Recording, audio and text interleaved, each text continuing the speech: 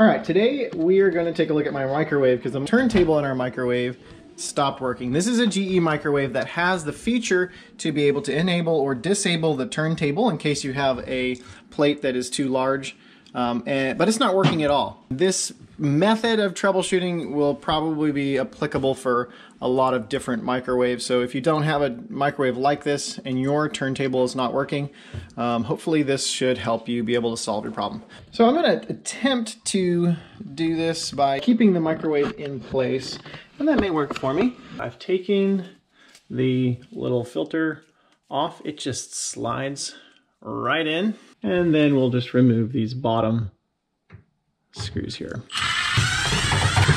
I have the Philips Hue light strip on here and I can, I'm just gonna disconnect one side, but I'll turn those off first.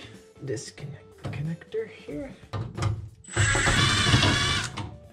I'm just gonna let it sag down a little bit. This is a motor right here that we're going to test. This is a 21 volt AC motor, alternating current. I'm just gonna disconnect the connector from the motor here.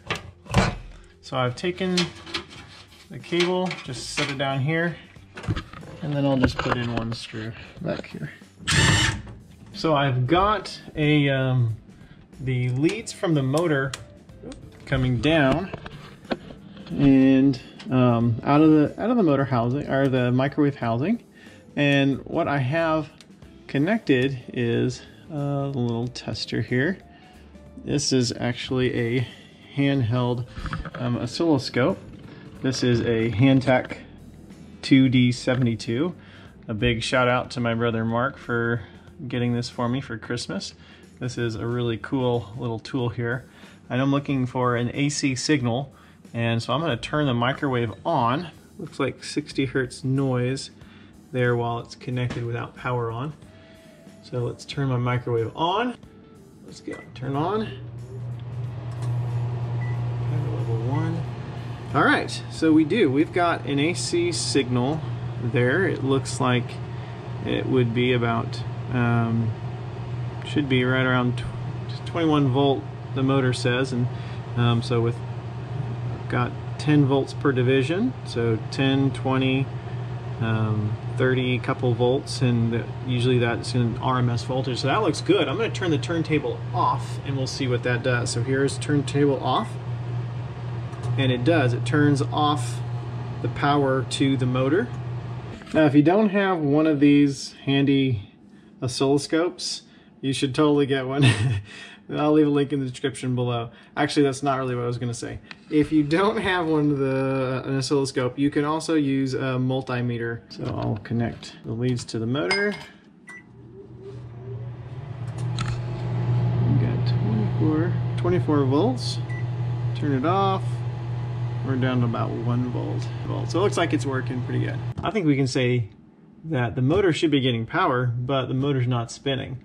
That makes me think the motor is no good. Yo. Hey, you wouldn't believe it. So I was gonna just replace my uh, little microwave motor here. I've got four of them in the garage, but they're all 120 volt motors. This one's a 21 volt motor. Hmm. Do you happen to have a 21 volt motor? Yeah, I'll check. Okay. I have another motor in the garage from various microwaves I've taken apart. And I look at the winding. The winding resistance is about 123 ohms. As I'm looking at this motor, I'm just looking at it right now, it actually looks incredibly similar to the motor I have. Housing's the same. It doesn't have a sticker, but I can kind of see through the sticker and the features are really similar on it. Even the little S marking on it is the same. So I'm willing to try this. Let's just plug it in.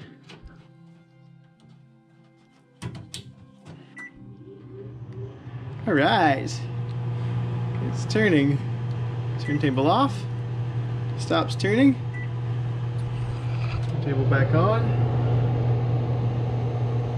All right, we'll insert the motor into the shaft until it grabs and then turn it in place and then I'll reinstall the one screw right here.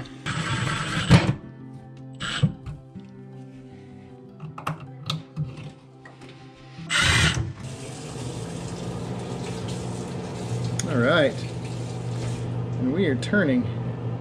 If you guys don't have a um, motor for your microwave in your garage, then I'll leave a link in the description below for this particular microwaves motor. It's a 21 volt AC motor. A lot of microwaves have 120 volt motor, so make sure you check that. It should be a very similar troubleshooting method and replacement method for those motors as well. Um, so thanks for watching and um, we'll see you again next time.